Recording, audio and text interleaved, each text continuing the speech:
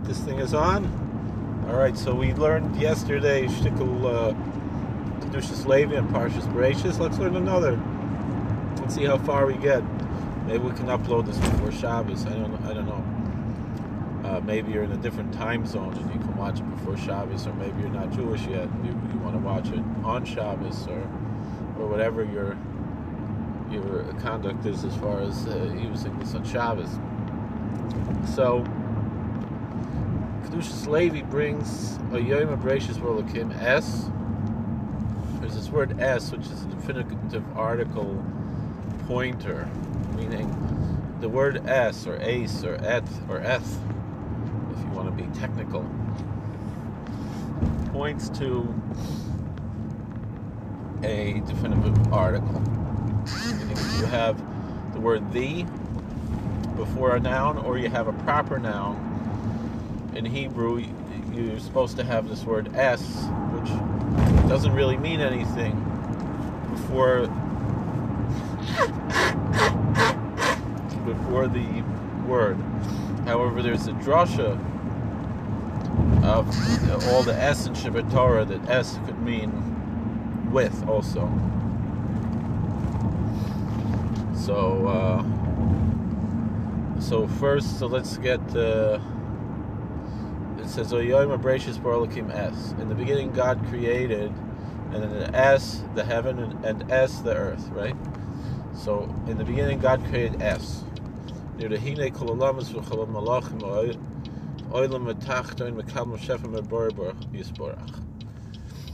says it seems like this that all of the all of the worlds and all of the angels and all of the this lower world, our world, receive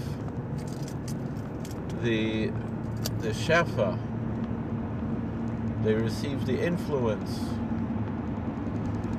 from the blessed Creator. An entire life force, all the worlds, only comes from God. And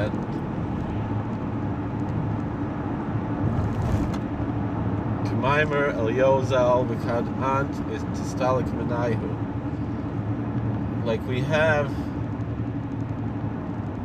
uh, there's a passage from the introductory to the Tikkun Zohar we call Psach Elio, which uh, appears in the liturgy of many Hasidic and Sephardic prayer books. And so we have this teaching of Elijah the prophet Zachal Toiv, may he be remembered for good. His, his, his memory is good. The mention of him is good. That when he prays to God and he says, "You, if you would remove yourself from them, uh, they would stop existing." And you were the source of everything. That's what he says to God. And behold,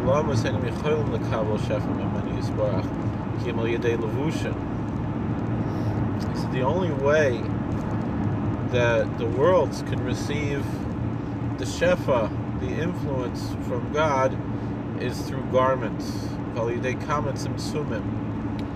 Garments meaning that that God is high is hidden behind this world and behind many worlds and, and behind many constrictions meaning that it, it, it would seem almost as if God removed himself constricted himself back to make himself invisible. Meaning, God is the thing that's most real in the universe because everything comes from God. And the reality of God is superior to all other realities. And yet, in order for this world to exist and for us to have free will, even to the point of the free will to deny God's very existence,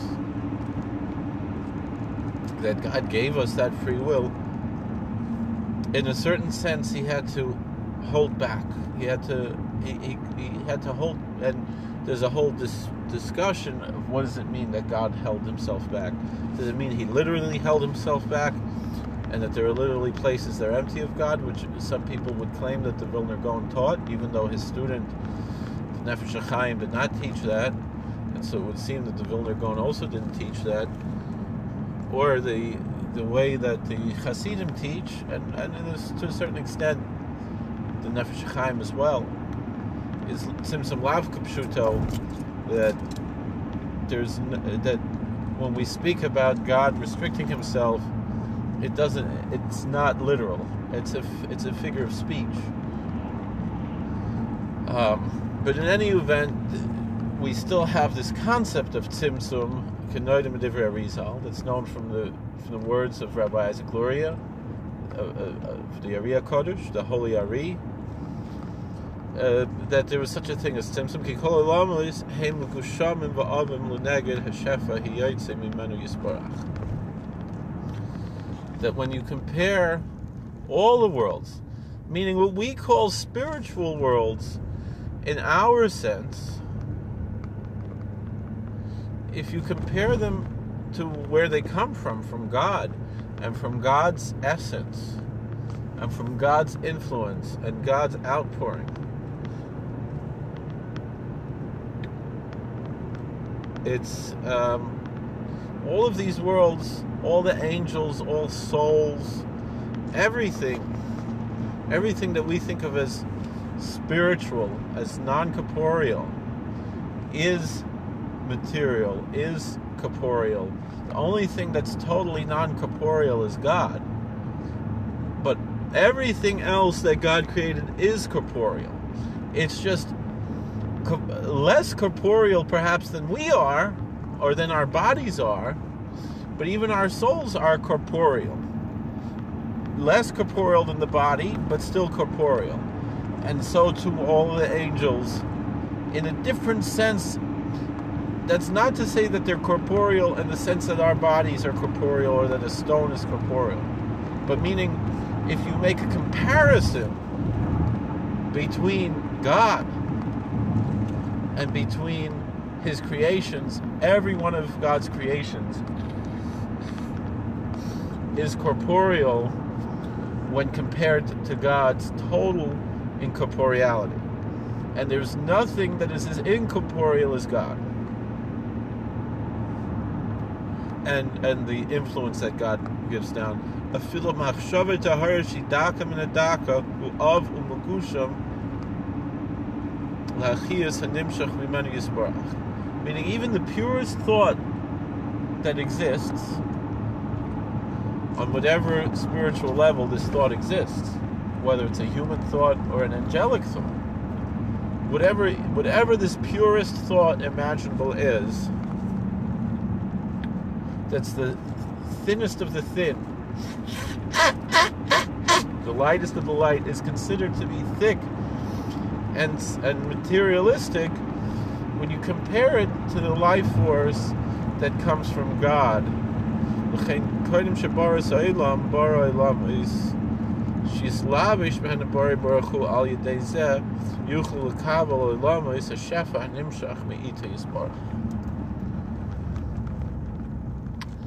But the worlds, meaning there are higher spiritual worlds above us, each of these worlds has some corporeality to it, but it's less than ours.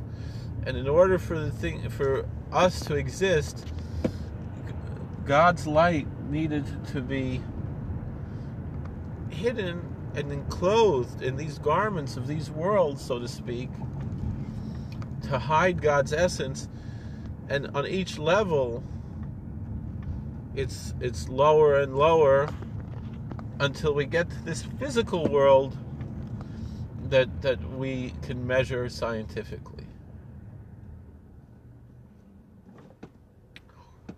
Um, and this is in order for us to be able to w- withstand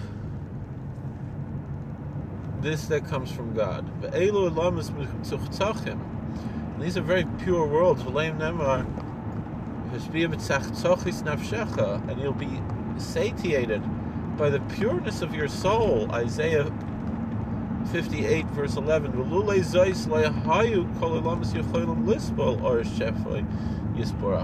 But if it wasn't for this, these various worlds, each world underneath the world above it would not be able to withstand the light of, of God's blessed, blessed influence in the world.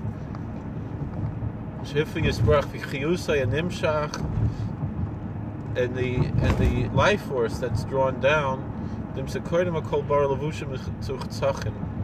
and before that, so therefore there had to be pure, clean garments to cover up in many layers of garments. And so those that are closer so to speak to God in a in a manner of speaking not even though since God is totally incorporeal there's really and we say tzimtzum lav kapshuto meaning in this in the actual essential sense of God there is no difference on the different levels of worlds God's essence is equal throughout all the worlds but in how we experience it, in, in order for these worlds to exist, there are these different levels within creation. And so those levels that are are closer to their root and have fewer levels in between them, those levels are much purer than the levels that come underneath them. And so those the, the initial garments are very pure.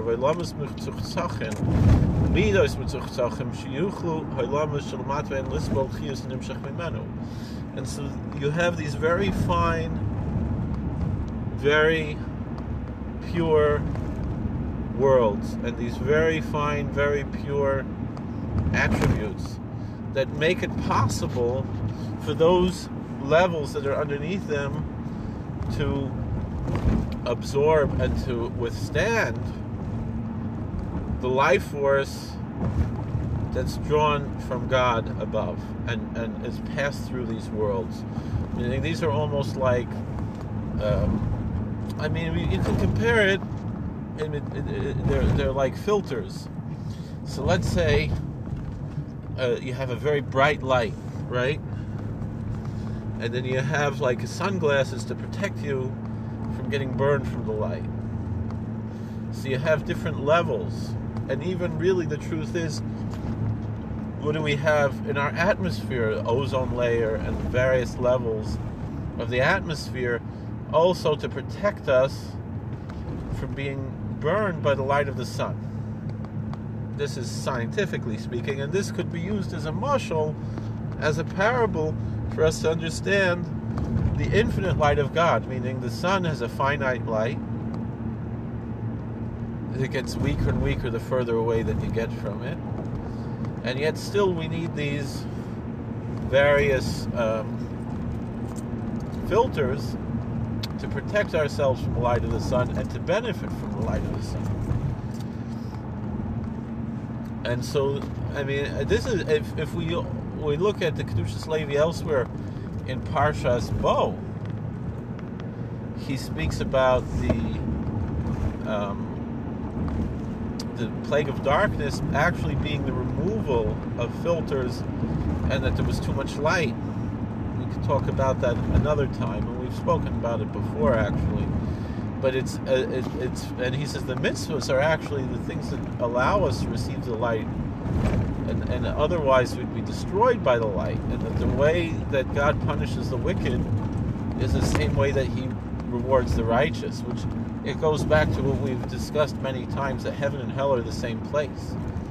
Meaning, if a, if a person goes to synagogue and loves being in the synagogue, or and, and if you have a different religion, you want to use it, uh, your your religious house of worship differently you know, because meaning, and they love the spiritual aspects of it, and they they they they look forward to it, and they love it, and they love, and people love to be engaged in religious devotions, then when they go to the afterlife, then they're going to go to heaven because all the afterlife is, is let's say it's a synagogue, it's a yeshiva and so you enjoy that. And so you're going to enjoy the afterlife. And if you don't enjoy it, you're going to go to the same place, but it's going to be hell for you. Because if it's hell for you here, if you don't enjoy it here, it's going to be hell for you there. But it's the same place. And again, all of these are parables. But in a similar sense, it's the, the same light of God. If you have what to receive the light, and you have the proper filters, you can benefit from the light. Just like from the light of the sun, you can get the the vitamin D and so forth. But if not, you can get not only get sunburn, but God forbid, even get skin cancer and you just have to have the right ways of receiving the light. The light is the same for the one who receives the vitamin D and the one who receives the skin cancer. God forbid. Um, it's the same sun, but that's we're getting a little bit off topic here. Vizel perish apostle b'pshutai berachus. So now the Kedushas Levi said this is the simple meaning of Genesis 1 1. Bereshus, in the beginning. Hakol, everything, Borolakim es God created, in the beginning of everything, God created the heavens. Uh, uh, which is how the Ramban understands it. Meaning, he doesn't translate in the beginning God created the heavens and the earth, but rather in the beginning of God's creation of the heaven and earth. Or, uh, but uh, well, actually, I, I, guess we put it the other way, meaning no. I mean, the Ramban says like that, but Rashi, eh, there are different interpretations. But I guess what he's saying here is more the way we translate it usually in English. In the beginning, God created the, the heaven and earth. Meaning, the beginning of everything, God created the heaven and the earth. So, but then, but we have this word es. So, what's this tavis es? Kamaya asa what is this word s? He says it's, uh, you know, I mean, you might look at it and you think it's ata, but it's actually asa. Coming, uh, the asa perish for asa reverse kodesh. When he says asa, he's explaining, he doesn't mean ata, you, but he means asa, which means to come with, together, um, in, in, uh, in Parshas Hazino, in, in in uh, Deuteronomy 33, in the Song of Moses, Deuteronomy 33, verse 2, it says, Awesome voice Kodesh, and he came from the multitudes, from the myriads of, from the holy myriads, from the holy multitudes.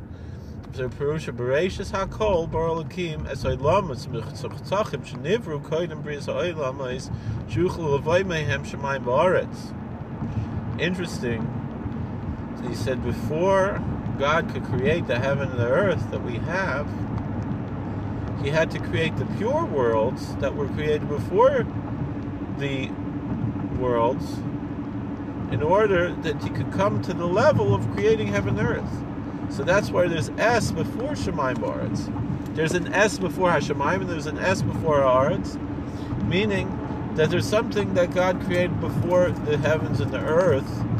He created S. Scripture says he created S Hashemayim, S Aretz, meaning that uh, it could mean other things as well, but he it, it means meaning that God created. That in the beginning, God created S, and then He created the the heaven, and then He created S, and then He created earth.